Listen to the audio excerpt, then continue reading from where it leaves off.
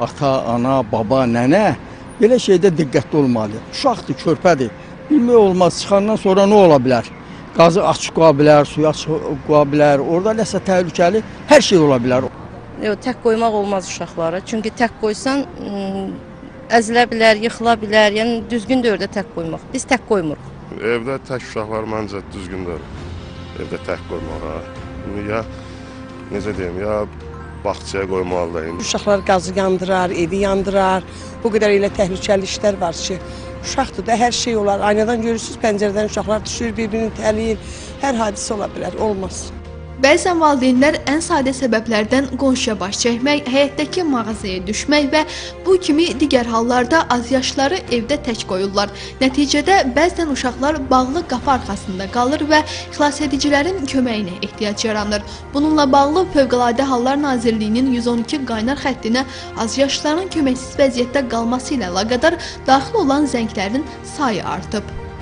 Bütün hallarda e, xilasedicilər tərəfindən azyaşlılar xilas olunur, e, valideynlərinə təhvil verilir. Lakin buna baxmayaraq mənzillərdə azyaşlıların qalması, yəni e, belə deyim, e, potensial təhlükədir. Çünki mənzillərdə e, elektrik və qaz cihazları var, e, açıq eyvanlar və pəncərələr var, e, kimyəvi maddələr ola bilər, kəsici alətlər ola bilər və e, bu da ki, e, bədbəxtçiliklə nəticələnə bilər. Psixoloqlar deyirlər ki, evdə tək qalan uşaqlar təhlükə ilə üzləşməklə yanaşı psixoloji travma da ala bilərlər. Çox vaxt belə uşaqlarda güvən problemi, özünə qapanma hallarına rast gəlinir.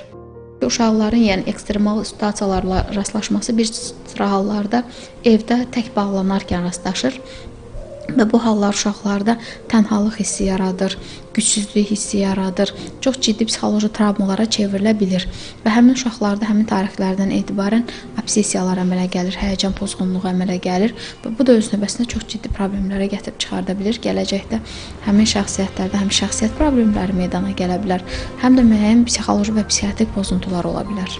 Mütəxəssislər mənzillərdə azyaşlıların həyatına təhlükə törədə biləcək elektrik və qaz cihazlarının, açıq eyvan və pəncərələrin, düşə biləcək ağır əşyaların olduğunu nəzərə alaraq, valideynləri heç bir halda uşaqları tək buraxmamağa çağırırlar. Aysiman Aslanova, Orxan Ağazadə, Telesəhər.